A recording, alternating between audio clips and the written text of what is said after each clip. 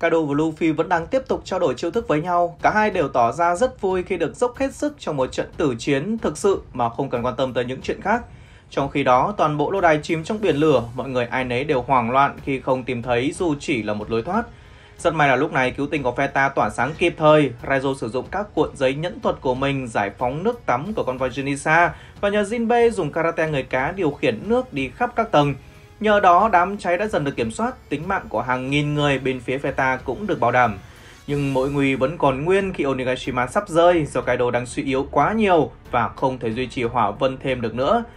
Cho nên Yamato đang thúc Momonosuke bay xuống dưới tìm cách nâng đảo, mặc kệ Kaido bên trên cho Luffy. Cậu đang cầm một cây thương sấm sét trong tay chuẩn bị tấn công. Đó là những diễn biến chính của chapter 1046 mới nhất. Và sau một tuần tạm nghỉ, One Piece dự kiến sẽ quay trở lại vào ngày 25 tháng 4 tới đây theo giờ Nhật Bản, hứa hẹn mang đến cho chúng ta những diễn biến mới vô cùng hấp dẫn. Liệu Luffy có thể hạ gục Kaido ngay lúc này và Momo tạo ra đủ số lượng hỏa vân cần thiết để nâng đỡ đảo Oni hay không? hay lại xảy ra thêm một biến cố khác lớn hơn cả đám cháy để kéo Junisa vào cuộc hoặc tạo tiền đề búp cho dâm lòng mạnh thêm đây. Trong thời gian chờ đợi bàn spoiler, chuyện tổng hợp sẽ đưa ra một số nhận định cá nhân về chapter 1047 sắp tới. Nhưng trước khi đến với nội dung chính của video, anh em hãy đập tay vào nút like. Bước 2 là ấn và đăng ký kênh để ủng hộ cho bọn mình nhé. Vào lúc này, hầu như toàn bộ các vấn đề trên Onigashima đã lần lượt được giải quyết xong xuôi và vấn đề lớn nhất còn lại chỉ là việc hạ cánh Onigashima sao cho an toàn nhất. Bỏ qua Kaido vì ngay từ đầu Luffy đã nhận lấy trọng trách này, còn lại duy nhất Orochi là ta chưa biết Oda tính xử lý hắn như thế nào. Nhưng trước mắt, theo mình Onigashima mới là vấn đề cấp bách nhất. Momonosuke và Yamato cần phải tìm ra cách giải quyết chuyện này và có lẽ ta sẽ thấy họ cùng nhau hành động trong chapter 1047 và 1048. Hiện tại Kaido đã trở nên rất yếu, chiếc xe đua này mặc dù vẫn vít được mắc tốc độ nhưng nhiên liệu chỉ còn khoảng 30%, không thể chạy xa được nữa. Chuyến hành trình tới lap theo của Luffy vẫn sẽ tiếp tục nhưng Kaido sẽ phải dừng lại tại Wano. Một minh chứng rõ ràng nhất cho việc Kaido đang rất yếu có lẽ không phải chuyện hỏa vân ngày càng bất ổn và đất đá rơi xuống, mà là việc ông ta bắt đầu phải sử dụng tâm lý chiến với Luffy nhiều hơn, điều trước đó Kaido không bao giờ thèm làm. Trong chapter 1046 vừa qua, ta thấy những hai lần Kaido cố gắng khiến Luffy phân tâm, khi nhắc tới chuyện lửa cháy lớn bên dưới lâu đài, tất cả chiến binh thuộc phe khởi nghĩa đều sẽ chết. Đang tập trung đánh nhau, tự nhiên ông ta nhắc tới an nguy của các đồng đội, đồng minh của Luffy làm gì? Chẳng phải nếu cậu lo lắng cho sự an toàn của họ, thì khả năng vận dụng hai cây quan sát sẽ bị ảnh hưởng hay sao? Nếu như trước đó Kaido luôn thích tập trung vào trận chiến của riêng mình và rất ghét có kẻ xen ngang hay kẻ thù phân tán tư tưởng, thì giờ ông ta lại cố gắng làm Luffy mất tập trung. Rõ ràng Kaido phải rất yếu thì mới phải sai tới ngón đòn tâm lý chiến này. Nhưng Luffy lại thuộc hệ quái thai Ngamasit đã giao phó cho đồng đội để tập trung đánh nhau rồi, làm mặc kệ tất cả. Hay nói đúng hơn, Lu hoàn toàn tin tưởng vào các đồng đội, đồng minh. Nhiều lúc chia tay Jinbei ở Totoland, cậu đã nói rằng dù có chết, ông cũng không được chết. Trước khi bắt đầu cuộc đột kích, Luffy cũng nhắc tới Jinbei và bảo phải đợi ông tới. Thậm chí cậu còn to tiếng với Zoro. Khi Zoro bảo, nếu còn sống thì ông ấy sẽ tới thôi. Lù quát lại ngay rằng, không, nhất định ông ấy sẽ tới. Nó cho thấy sự tin tưởng tuyệt đối của Luffy và đồng đội, kể cả khi đối thủ của họ có là tứ hoàng hay là đội trưởng. Do đó, chiêu bài tâm lý của Kaido đã trở nên vô dụng. Lù nhắc lại niềm tin đó một lần nữa trước khi bay vào tiếp tục đập nhau với lão. Nhờ có Luffy mà Kaido càng yếu đi do phải duy trì Haki quan sát thấu thị tương lai để tránh đòn của cậu, nên cơ hội cho Momo kiểm soát đảo Oni lúc này là cực cao. Có điều lúc này không đơn giản là hỏa vân bất ổn nữa, mà Kaido đã yếu đến mức hỏa vân đang dần tan và sẽ biến mất hoàn toàn khi ông ta bị hạ. Cho nên mình đoán sẽ xảy ra hai khả năng. Một là Momonosuke kéo được Onigashima ra xa kinh thành, cố gắng cho nó hạ cánh an toàn trước khi Luffy đánh bại được Kaido. Thằng nhóc vẫn túm mây để kéo đảo được, nên mãi mà cái đếm ngược 5 phút vẫn chưa hết. Nhưng để nó kiểm soát hoàn toàn mây của Kaido là hơi khó, nếu không muốn nói là bất khả thi, nên tỷ lệ thành công của việc kéo rồi hạ cánh Onigashima là cực kỳ thấp, trừ khi có Junisa dùng sức mạnh kinh hồn giúp đỡ. Nhưng hiện con voi vẫn ở ngoài biên giới Guano, chẳng biết khi nào nó mới tới. Vượt thác, vượt biển tiến vào đất liền cũng rất mất thời gian. Còn nếu Momo chỉ kéo mây không cho Onigashima bay đến kinh thành, thì khi Kaido bị đánh bại, hòn đảo vẫn rơi và mọi người ở trên vẫn chết. Cho nên trường hợp thứ hai có khả năng xảy ra cao hơn, đó là Oda sẽ búp cho Momonosuke sức mạnh thật sự của một con rồng. Tại sao mình nghĩ như vậy thì có ba nguyên nhân. Thứ nhất, Momo là Shogun tương lai, lại còn là người dẫn dắt thế giới tới với bình minh. Nó phải mạnh lên thay vì tấu hài. Trong khi tất cả thì nó là người duy nhất không được phép chết. Thằng nhóc phải mạnh để dẫn dắt Wano mở cửa với thế giới và trợ giúp cho Luffy. Nguyên nhân thứ hai nằm ở Oda. Bác đã bút cho nó trở thành thanh niên 28 tuổi, biến thành con rồng to ngang với Kaido thì không thể chỉ để làm cảnh. Khi tới thời điểm thích hợp, chắc chắn Oda sẽ bổ sung nốt sức mạnh của rồng cho Momo và nguyên nhân cuối cùng nằm ở cách mà Oda kết thúc các cuộc chiến.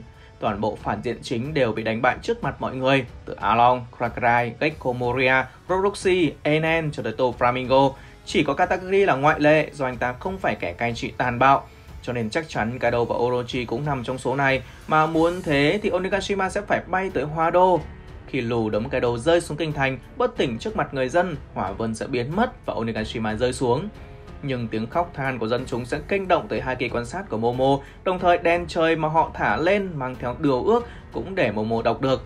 Đây sẽ là động lực cho thằng nhóc, một lý do hết sức thuyết phục để ấu đạo búp mạnh tay mà không bị cho là bẩn. Momonosuke sẽ tạo ra số lượng mây bằng với Kaido và nâng đỡ hòn đảo hạng cánh an toàn để các samurai bị bắt giam đoàn tụ của người thân tại kinh thành. Chỉ tạo ra mây và hạ cánh đảo quỷ cũng hợp lý hơn là tạo ra mây rồi đưa nó bay xa như Kaido đã làm. Tiếp đến sẽ là trận chính của Luffy và Kaido. Rất nhiều độc giả đã cảm thấy bất ngờ, thậm chí phản ứng với tác giả khi đột nhiên Luffy có thể cầm xét trong tay. Nếu suy xét kỹ, ta có thể hiểu rằng Luffy đã tác động năng lực của Nika lên sấm sét về cao su kháng điện nên chưa học cách sử dụng hai kỳ vũ trang Luffy đã chạm được vào cơ thể Logia của Enen. Cả Enen và tiết xét hiện tại bản chất đều như nhau, cho nên mọi thứ vẫn đang hợp lý chứ không phải ảo. Anh em nên phân biệt giữa sử dụng và tạo ra. Luffy có thể cầm một tia sét có sẵn trên bầu trời rồi biến nó thành một cây thương, chứ không phải tự cậu tạo ra sấm sét như Kaido và Enen. Trong các diễn biến trước, Luffy cũng từng bám vào mây, như vậy không ngoại trừ khả năng Luffy có thể cầm nắm nhiều thứ khác nữa mà bình thường vốn dĩ không cầm nắm được để chiến đấu. Và trong tưởng tượng của Husuhu, thần mặt trời Nika, một tay cầm thương và một tay cầm kiếm, vậy lẽ nào Luffy còn sử dụng cả kiếm nữa? Ở chương tiếp theo, khi trận đấu tiếp tục, có thể ta sẽ thấy Luke dùng kiếm, thậm chí chính là thanh kiếm khổng lồ cắm bên ngoài vòng sọ. Ngay từ đầu nó đã khiến chúng ta chú ý, thậm chí đặt ra nhiều giả thuyết về người từng dùng thanh kiếm này.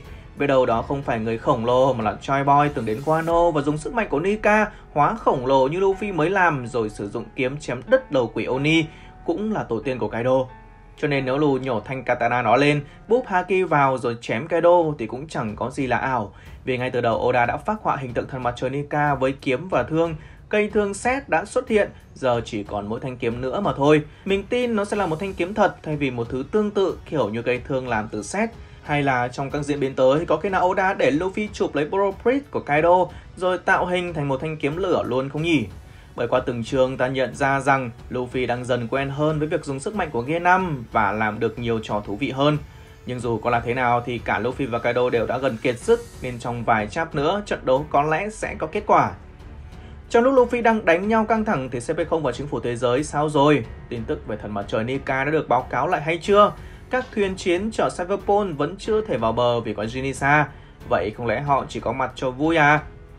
Theo mình đoán thì chính quyền thế giới sẽ cố gắng can thiệp vào phút cuối và đây chính là lúc mà Monosuke tự đứng lên bảo vệ vùng đất Wano, mở cửa thì mở cửa, nhưng Wano phải của người Wano. Đợi nó được búc đủ mạnh để hạ cánh Onigashima một cách an toàn thì Momo thừa sức lãnh đạo các samurai đứng lên chống lại giặc ngoại xâm. Vì hạ Kaido xong thì Luffy và băng mũ rơm cũng như Kid và Lo cũng tàn tạ cả rồi. Khi đó Momo cùng các kiểu hồng bao còn khỏe và Junisa sẽ là những nhân vật chính. Ngoài ra nhắc tới băng mũ rơm thì có một người đáng rất được quan tâm đó là Zoro. Ở chương trước ta thấy Frankie hớt hải chạy đi tìm Chopper với rổ đang nguy kịch. Nhưng do đám cháy chưa được khống chế nên Oda chưa thể đi vào chi tiết. Giờ Jinbe đã cùng Raizo dập lửa thành công, cũng đến lúc để điều trị cho vua mù đường rồi. Khi không bị bà hỏa ngáng đường, Frankie có thể đục lỗ trên tường để đi cho nó nhanh.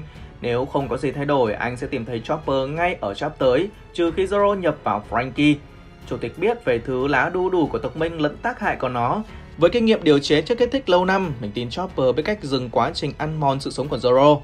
Lúc này anh đang phải chống chọi với tử thần khi chiến thắng danh hiệu vua của địa ngục mới thực sự thuộc về Zoro.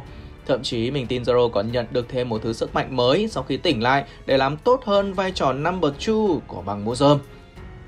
Đó là toàn bộ nhận định của mình về One Piece chapter 1047. Cảm ơn anh em đã xem hết video. Xin chào và hẹn gặp lại anh em ở trong các video tiếp theo.